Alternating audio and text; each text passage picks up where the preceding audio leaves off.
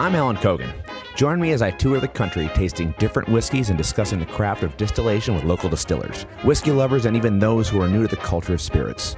Welcome to the Cogan Conversation.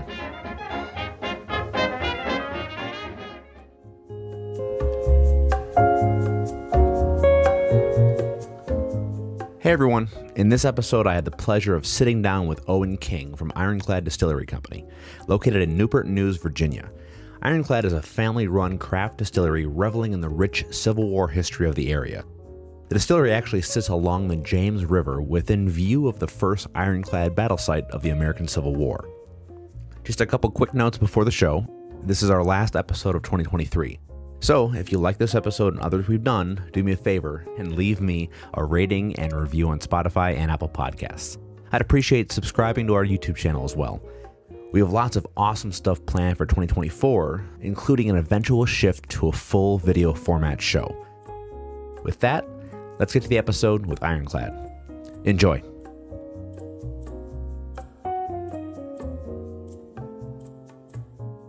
All right, Owen. Well, thank you for having me here at the Ironclad Distillery. Welcome here, Cogan. Yeah, I hey, I I've never been here, and you've already corrected me. It's Newport News, not Newport. Got to say it with a kind of southern draw too. Newport News. Newport News. Well, so tell me about the distillery. How long has it been here, and uh, how did you get involved? Yeah, so uh, the distillery started about nine years ago now. Um, my dad owns this thirty thousand square foot warehouse that we're currently in. Um, and uh, so it's it's three stories, it's 10,000 10, square feet each floor. Um, and he bought it 16, 17 years ago now. Um, and he had another business operating out of here. And so, as busy as that other business ever was, we were never filling the entire building. And so, uh, you know, after I graduated college, I, I came down. Uh, he he nice, graciously offered me a job, so I came down to work for him because you know, after college, you need a job. Uh, so came down to work for him, and uh, we had already all always really enjoyed drinking bourbon and and uh, you know sitting around talking about drinking bourbon and think and talking about it. Uh, you know all those good all the good conversations you have all having bourbon with you. Um, and so we were talking about what we were going to do with all the extra space we have, and you know he had this I had this idea of of you know making it in a tons of tons of crazy ideas. and so, uh, you know, one day he's like, you know, like, you know what we could do? We could start a bourbon distillery, and you know, we can we can make the bourbon and um and we could store it on the floor on this on the on the you know floors we're not using and um and as as you know when we get busy in the in the restoration business, which was what his business was. Um, you know, we'll, we'll slow down. We will slow down production on the bourbon, but when we when we're slow in the in the uh, restoration business, we'll really go full bore uh, bourbon distilling. And so we're like, oh yeah, it sounds like a great idea. uh, and you know, kind of forgot about it. And a couple weeks later, I walked in. He's like, oh, by the way, I bought a still. And I was like, oh, great, we're bootleggers now. Uh, this is this is gonna be great. Um, so we the still showed up, and uh, and we are like, oh, what are we gonna do? It was a little 26 gallon hillbilly still, and uh, we looked into the legality of owning a still and it turns out, you know, you can own a still, but you to use it, it's 100% illegal. So we went through and we're like, well, if we're going to do this, we might as well do it legally, not go to jail for for bootlegging. um, and so we, you know, took us about a year to get all of our licenses and permits and everything, and then we started distilling. And um, we did it. For, we we've been doing it for a while, and uh, we were really enjoying the distilling and not so much the restoration business. So he sold the restoration business and uh, we went full time distillery, making it uh, making it you know legitimate business and uh, really enjoying it. Yeah, well, I've, I've been enjoying watching you, you guys grow. I, have I've only been here for a few years in Virginia, and I've had your, a, a, couple of your of your bottles before, but uh, this is the first time at the distillery. And this space is such a cool space too. You have the distillery, of course, but then you have, I mean, we're sitting here in a little speakeasy, and we have you have the the big tasting room area in, in the front. Uh, tell me a little bit about that, about the space you're in. So we, uh, when we started the bourbon distillery, um, we were really lucky in the fact that my sister uh, didn't love her job in New York, and so she was getting really burnt out of being up there, and she wanted to come down and a little change of pace, and so she wanted to come and be a bourbon brat, and she wanted to to help with the help start the distillery, and so um, so she has a she's a marketing whiz. Uh, she's been working in New York in in fashion and, and marketing and copywriting, Um, and so she thought she could come down and do all of our marketing for us and, and really getting the brand out there. And so uh, we when we finally got to the point where we were actually able to sell things, because you know we had to uh, let all the stuff age that we were making, um, she really hit the ground running. She had a great uh, design or idea for packaging. She had a great uh, idea for you know social media, and then uh, after a couple years of selling only in ABC stores, uh, we started our tasting room. Um, and it was about half the size of what it is now when we started it. Um, but she had this vision of of how she wanted it to look, and so my dad and I just had to keep writing the checks uh, to make sure it it secured her vision. Um, but she has a great eye. She made the place look really, uh, really attractive. Really great place to come sit down and and have a cocktail, which is you know the goal. We wanted to be really inviting. Well, it, it kind of has that that feeling of you know that old cocktail lounge, that, Yeah. that ambiance that I love. Yeah. Well, tell me a little about Ironclad. I, obviously, that's a it's an old Civil War history kind of thing, and the flight of bourbon of, of whiskeys you have here actually is shaped like an ironclad. I'm excited to learn about where that came from. Good eye. You know, uh, Not everyone gets that. Um, so yeah, the idea, the the story behind the Ironclads, March 9th, 1862, uh, the first ever battle between two ironclad ships took place. Um, and it took place, you know, about maybe half a mile from here. Oh, wow. Uh, we would actually had a front row seat at this spot to watch the whole thing go down. So when we were kind of picking names of, of what we wanted to do or what, what we wanted to name the distillery, um, we you know we had a couple ones. We we wanted to have something to tie in with with Newport News, and um, the one thing we yeah, we came up with was our was let's name it Ironclad. If, if it's if it's already you know we would have had a front row seat to watch the whole thing go down. Um, and so you know doing that, then we ended up getting to know the really history, the all the real history of the Ironclad ships. Um, I've been inside the uh, the turret of the monitor. Um, uh, gotten to do some really cool things um, because it was the first ever battle between two ironclad ships. It changed naval warfare forever. Right. Um, and so with that, we we thought we'd we do we would do our branding of you get a little history with your whiskey when you drink ironclad. So it's I like to say when you're when you're drinking ironclad, you uh, you're getting a history lesson. And so it's not you know it's not drinking, it's just history. Yeah. Uh, that's that's what I tell my my parents when they ask me what I'm doing, or my wife, I should say. All those bottles on my shelf, they're history. Yeah. but no, uh, I know that is it all the bottles or some of the bottles? Yeah, It's actually like there's a peel away on Yes, the label. On a few of them, there there's a peel back, um, and then there's one of them that's that's printed on the inside. But uh, so on our small batch label, if you peel it back, um, it's got a blueprint of the USS Monitor underneath it. On our straight bourbon, um, which is the first one on your right, uh, it's got a peel back of the CSS Virginia.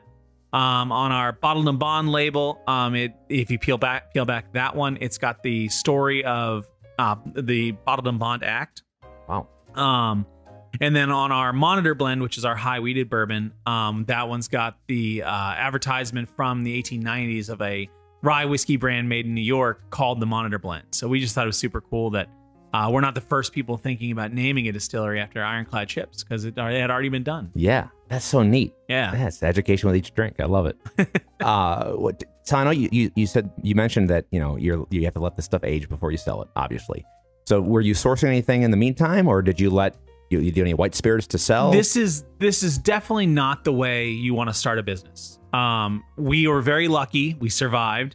Um, but we, oh, our opening of the distillery, we said we were only going to make bourbon. We were never going to make any clear spirits, no vodkas, no gins, no unaged whiskey. Um, and so we waited uh, wow. for about a year and a half from the when we made our first our first barrel to selling our first bottle was just about two years. Um, and so yeah, we we waited all that time of just keep producing bourbon, keep producing bourbon, not selling anything, and then eventually uh, trying it, getting it ready, and bottling it and sending it off. Uh, but yeah, not not what I recommend at all.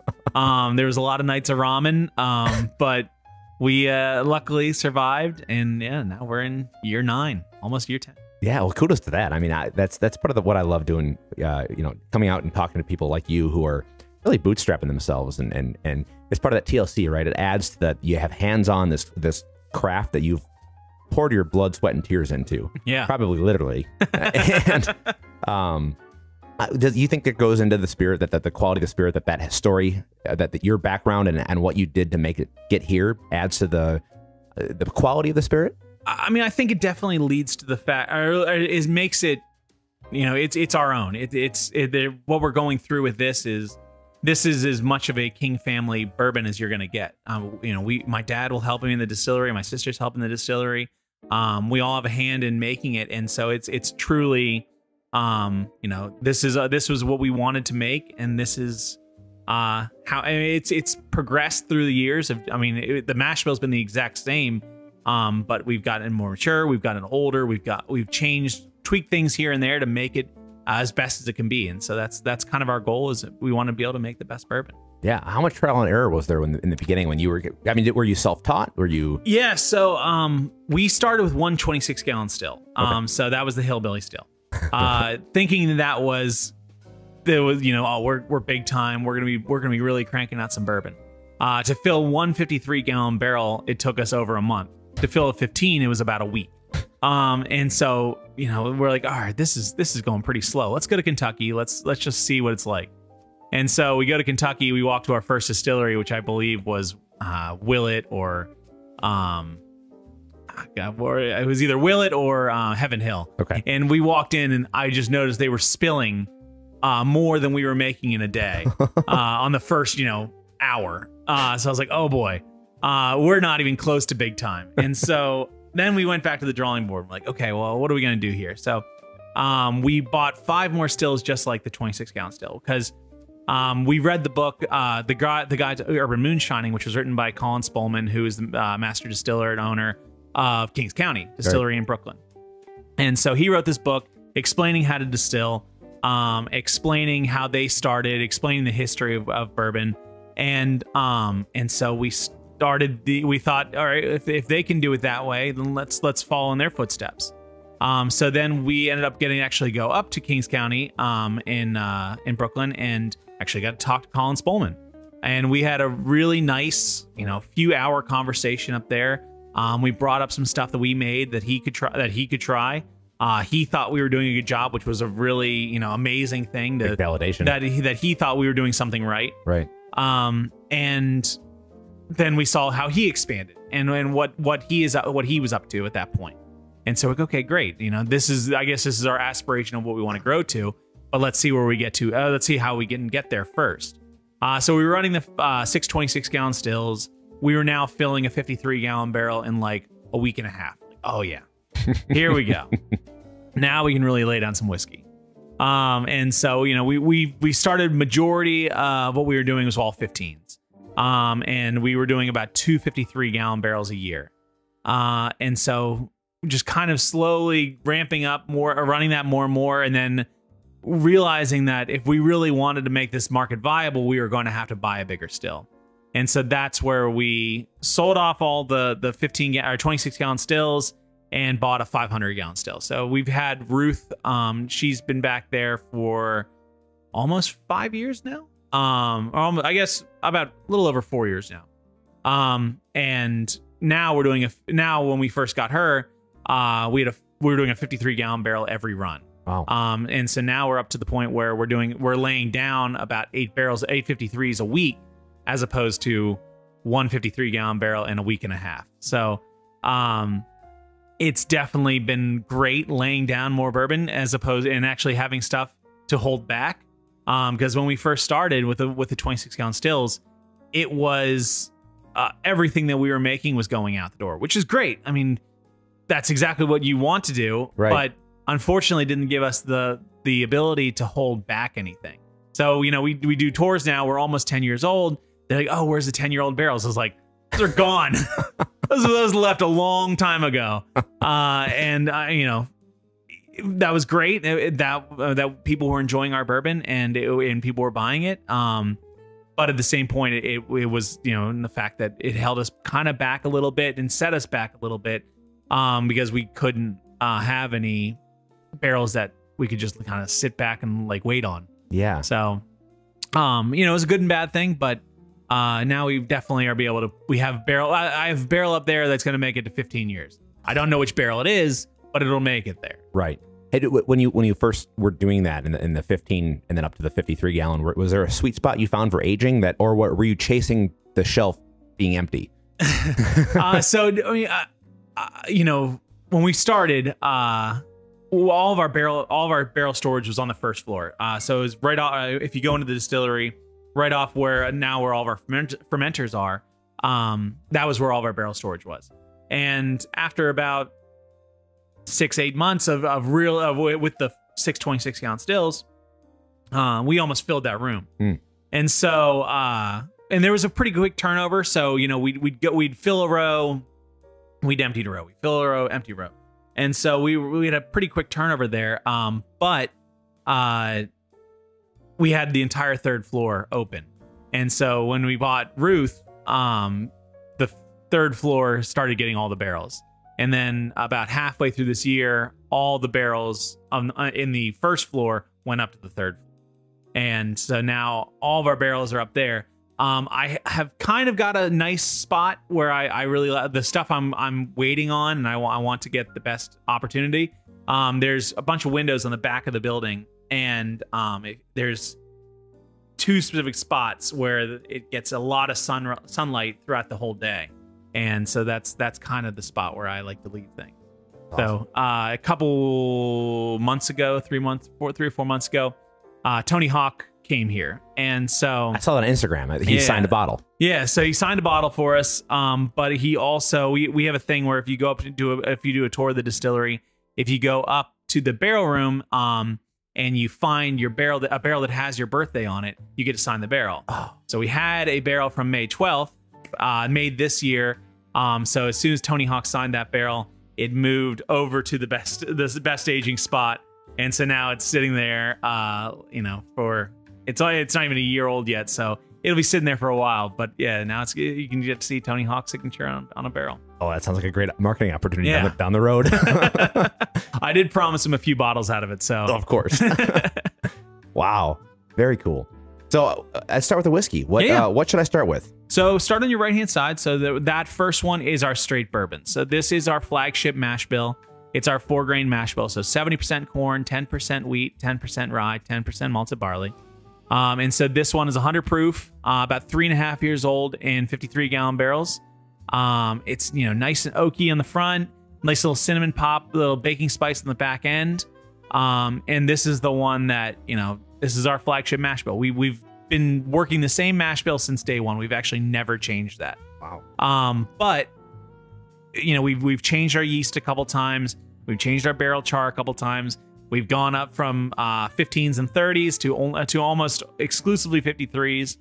Um, and so this is just our uh, you know, this is our ode to bourbon. Like this is this is our kind of flagship. If you're gonna look at where to start with Ironclad, I always always start you here because this is just where we everything started with this mash.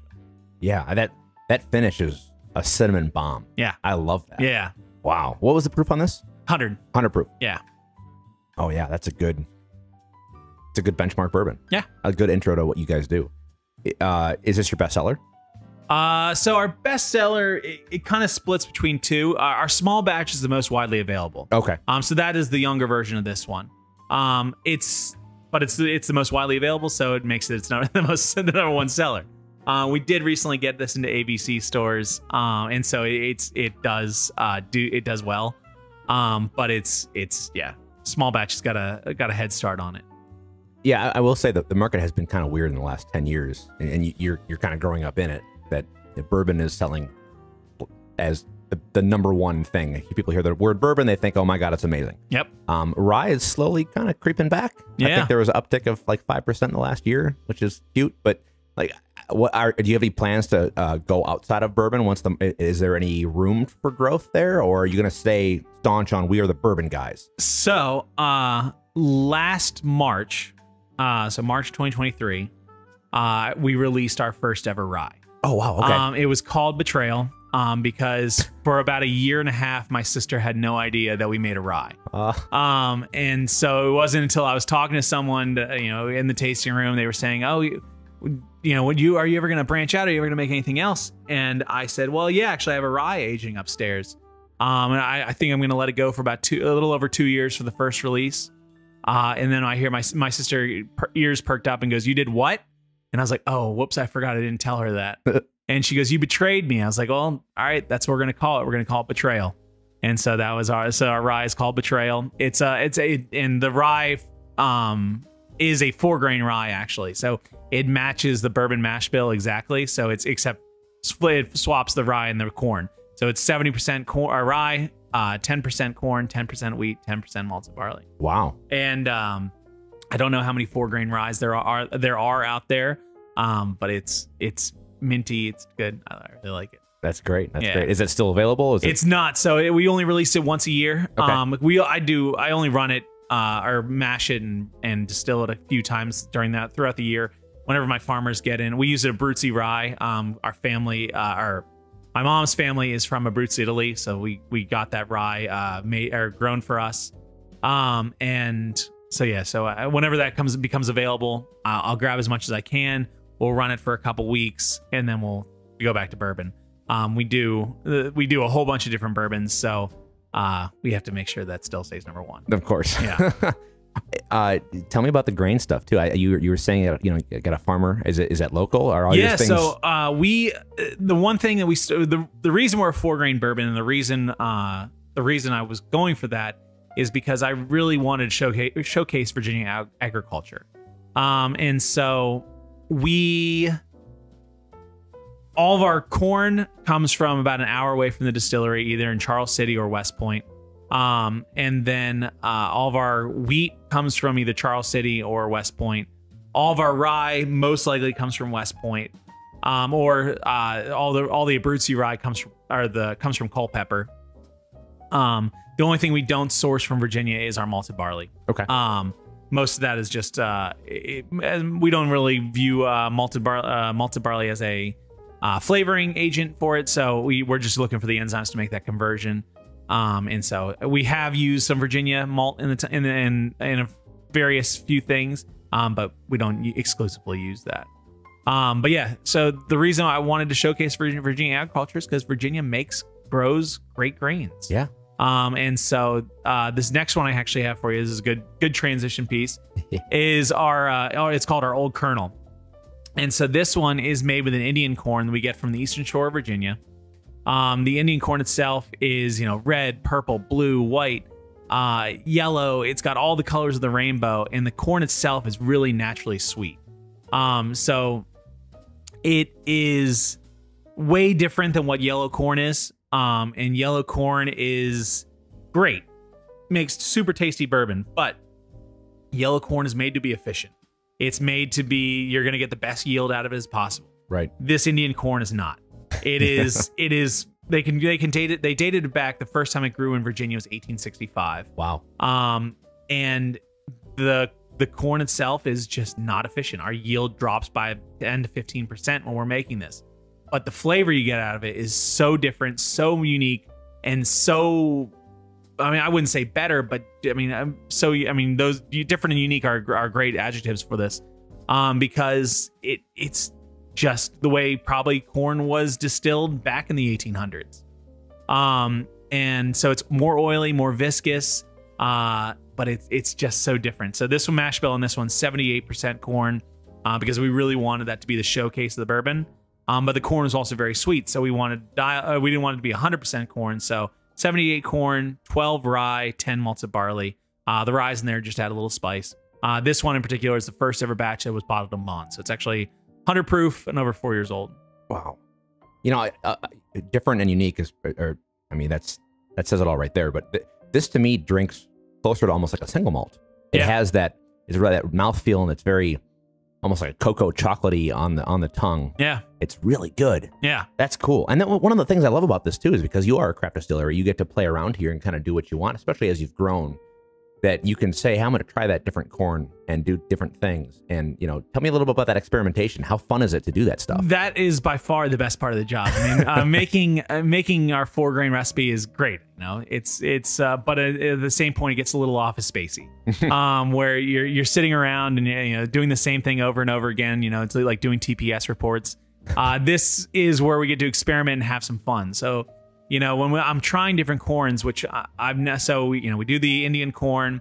Uh, I've got one going this week. It's called Wapsie Valley corn, um, Oh. which is supposed to be a uh, another heirloom uh, varietal. Um, it's supposed to be very different. Um, it's so far mashed really well. Uh, we have a Hickory King corn, which is a really big kernel, a really big white kerneled corn. Um, we've done Bloody Butcher this year.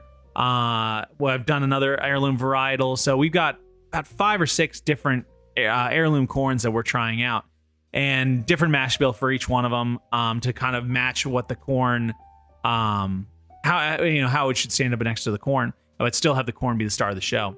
Right. Um, and then so yeah, so that that's that's the most. I mean, that's the fun part. And then getting to meet these farmers who are growing these grains because they're the ones who are keeping these grains alive. I mean, I, you know, yellow corn's great, uh, but these other corns are are maybe maybe better, maybe or at least different. Well, and, and that's that's the thing that people don't think about. I mean, like, we were just talking about how the bourbon market has exploded. I don't think people know about that that nuance behind the spirit of you know. There's 17 different types of corn that make different flavors. Yeah. and that's really unique. How much of that did you learn on the job, or did you come into this knowing that you want to experiment? Or So go, coming into the job, I had a uh, about four week long um, chemistry course in college that we got to talk. So the first half you had to learn the basics of chemistry, you know, chemistry 101. The second half of the of the uh, course, we got to talk or we got to learn what we wanted to learn about. So uh, the class got to pick, and so ha- by chance the class picked brewing and distilling, which are the two things I do now. um, and so it was very rudimentary. Um, nothing we knew or nothing super in depth or anything like that. But it was enough to give me at least some knowledge of when we started this. We I, I- wasn't completely going in 100% blind. right, Um, and so you know we went over brewing, we went over that process and of of of brewing and mashing and all that. Uh, and then we went on to the next stage of distilling, where it's you're just boiling off the alcohol from what you brewed. Um, and so that was that was my rudimentary knowledge. Then then we read uh, Colin Spoelman's book. Then we went and talked to a whole bunch of distillers to kind of uh, get their idea, or get get how they do things. And then after that, it was just trial and error, trial and error, trial and error. Um, and so uh, I've been really lucky that farmers have reached out to me saying, "Hey, I have these corns um, that we that we've grown. Um, would you like to try them?" Of course, yeah. I'm, I'm I would love to try that. Um, and so like the the hick, the Indian corn for the old Colonel, uh, the, he reached out to a whole bunch of distilleries. We uh, we were the only one to respond. And I was said I, after that, I was like, I'd like a exclusivity. I don't want anyone else having this corn. Um, it's so unique, so different. I, I want it all for myself. He's like, great, no problem. So uh, we have now we have that. Uh, the other farmer in, in Culpeper that we get the Hickory King, the Wapsie Valley, uh, our Abruzzi. Uh, he grows for a lot of other distilleries. He's done stuff for A. Smith Bowman. He's stuff done. He's done stuff for One Eight.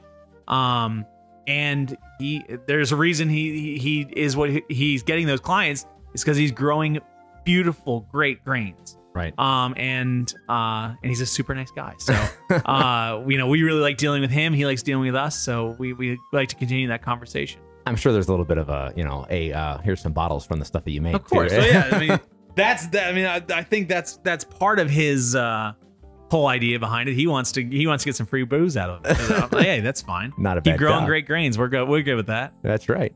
So it was. What's the third one here? The third one, so we because we're only, we we only do bourbon, um, we do a lot of finishes. Um, this is the other part of my job that's that's really fun. Um, so this one's our hot honey finish. So this one is our our small batch bourbon finished in a habanero infused honey cask. Um, so we give our barrels uh, to a uh, hot honey guy in Richmond. His name's AR's Hot Honey, um, and he makes this habanero infused honey. He ages in our used bourbon barrels, takes the honey out. Uh, we get the barrels back, and we put our bourbon back in there. Um, so we're not adding any hot honey or anything like that to it. We're only picking up those new characteristics from aging in the in the different barrel. Um, and so this one's really cool. You get that honey right up front, and then as it finishes across the back of your palate, back of your palate, you actually get that capsaicin sensation. And it's not like face melting or anything like that, but it's definitely enough to let you know it's there, and Yep. it's definitely not a whiskey burn. It's it's it's so different. Yeah, I was gonna say uh, a lot of ryes have that kind of it tricks the mind. It, it, it- the, the spice takes over, and you think, oh, it's alcoholic. Yeah, This is most definitely a pepper burn, yeah. but not bad at all. It's Yeah. very pleasant. That's wild.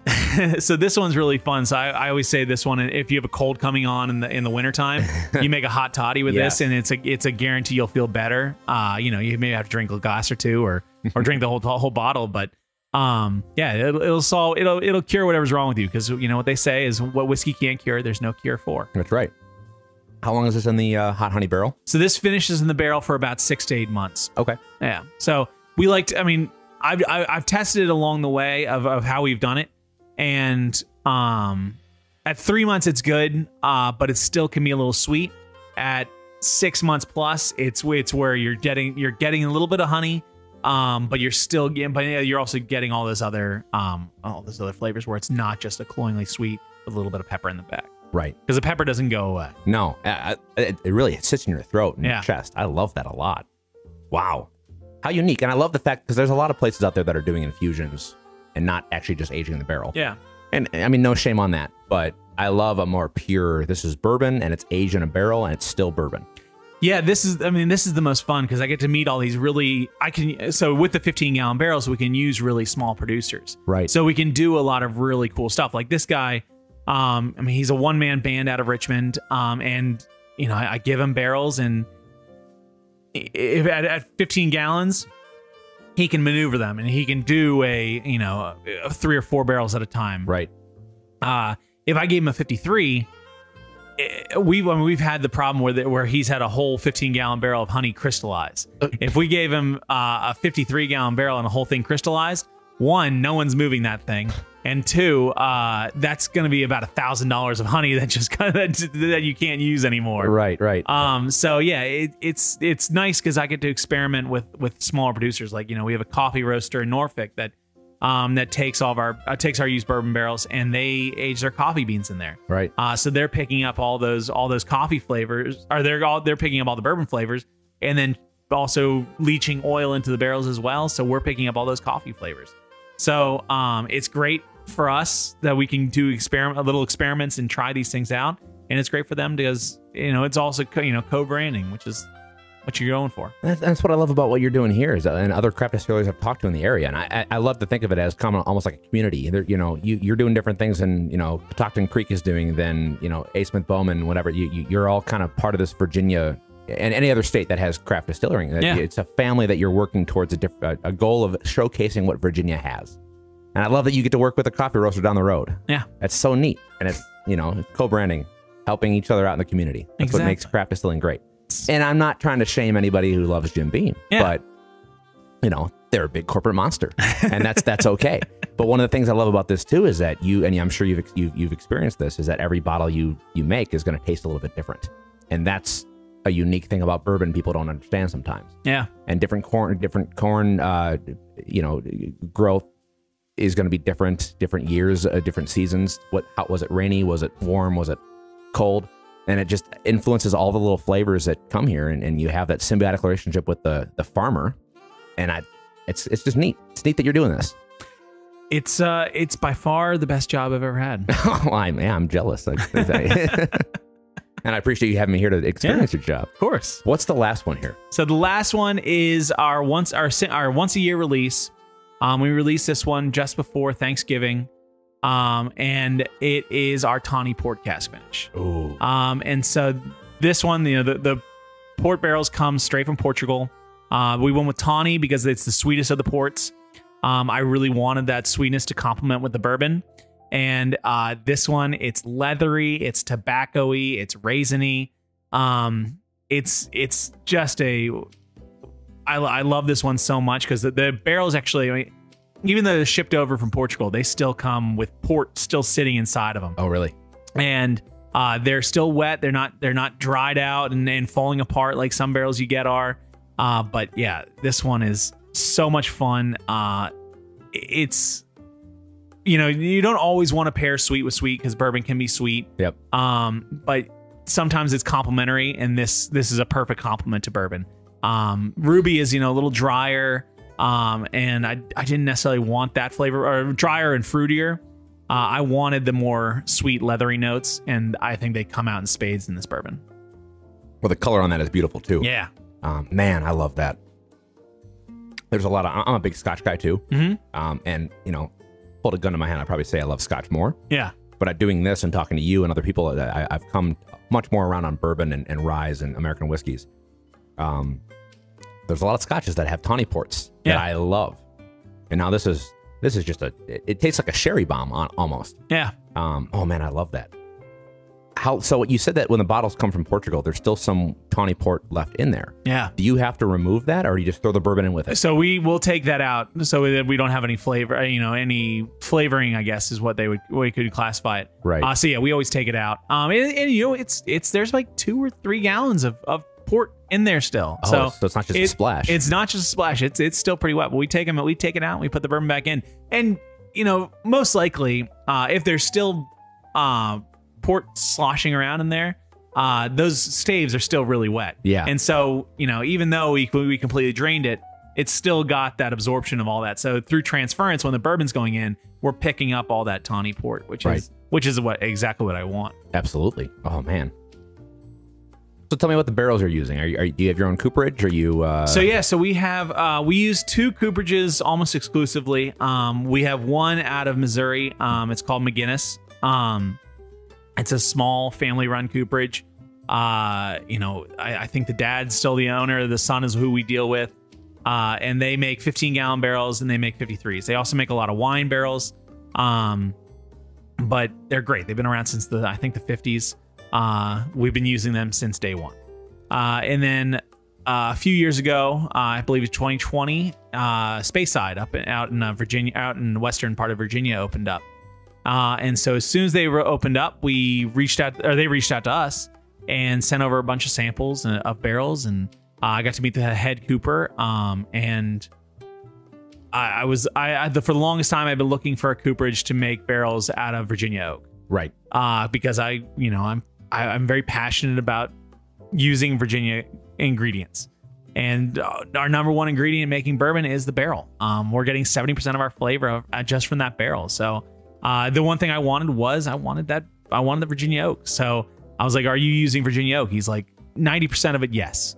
And I was like, "Done. Well, well, let's let, uh, let's uh, sign me up, or we're taking as many barrels as we can get out of you." And so um, the a lot of distilleries have dealt with um, barrel shortages and everything like that. And we've been very lucky. We were one of the first people to sign up with Speyside. They've been nothing but great to us. They've taken care of us really well. Um, and even when we need a few extra barrels, they're they're always there for us. So um, I, I love their barrels. I think they do a great job. The quality's super great, and I'm really enjoying the bourbon that's coming out of them. Yeah. Well, me too. it's uh, how, are you doing? What uh, char level are you doing? So pretty much, uh, we do char number three on almost everything. We do have a few char fours, a couple char fives. Okay. Uh, everything is medium toast as well. So they toast the barrels and then char them. Um, that's just to kind of uh, ramp up more oakiness and it penetrates the wood more. Um, so that that's kind of the idea behind that. Uh, to make sure we, we we're getting as much oak as, out of the barrels as possible. Yeah, well, I was gonna say your your your uh, uh, non-finished bourbon, it, it definitely has a good oaky, but a mellow oak. It's not. Sometimes you get a bourbon that's just it's it's overaged in a barrel that's overcharred, and it just tastes like wood. Yeah. And uh, I'm not gonna name anybody, but but th- th- th- that oak flavor and those wood sugars can really be pleasant. And I think your your non-fin- un- unfinished bourbons showcase that perfectly. But the finished bourbons, obviously, you're not trying to showcase that wood. But Yeah. but you like the tawny port, that tobacco leather and that leather flavor, I would think is probably an accent of the wood sugar. It's it's phenomenal. but you. yeah. So. Uh, uh, is there anything else that you can maybe disclose, like any uh, experimentations that you have squirreled away in the back that you're waiting on, or is there anything that you want to do that you haven't done yet? Any beer barrel finishes, or I've done a beer barrel finish. We have we we released that one last. Uh, we did a Belgian quad. okay, Um, we do that with uh with our friends over at Cashel over in Hampton. Um, and we'll have we, I just got the this year's barrels for next year uh in.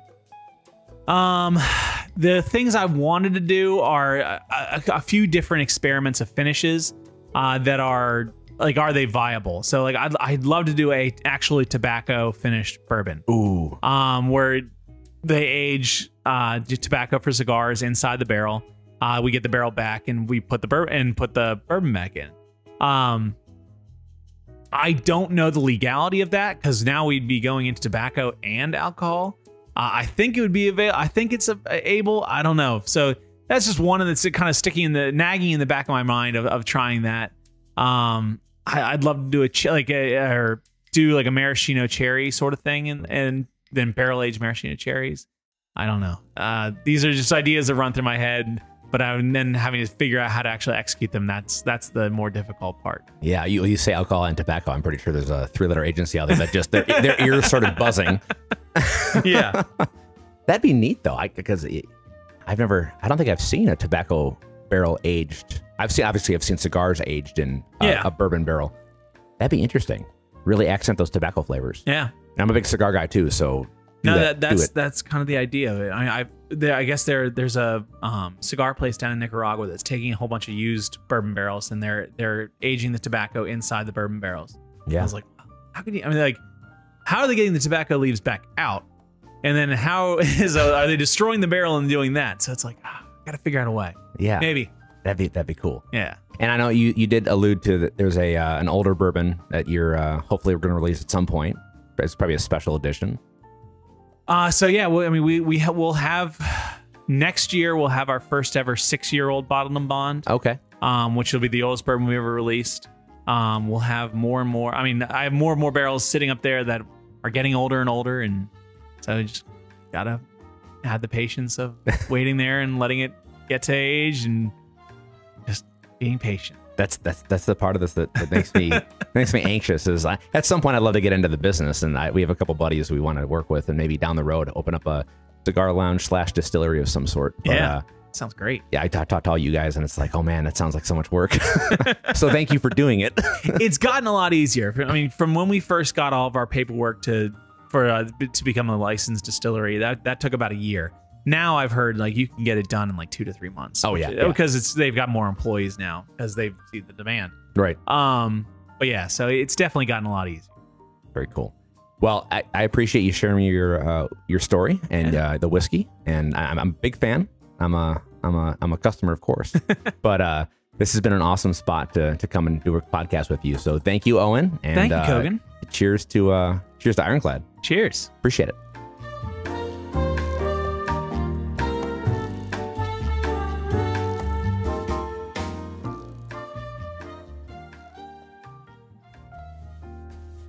Thanks for listening. If you enjoyed this episode, I'd appreciate it if you left us a review on Apple Podcasts or Spotify. The more reviews, the easier we are to find. Also, if you aren't already, be sure to follow us on social media so you never miss any of our updates. Be sure to share this episode with your friends, and always be sure to drink responsibly. There are quite literally thousands of distilleries, so we're just getting started.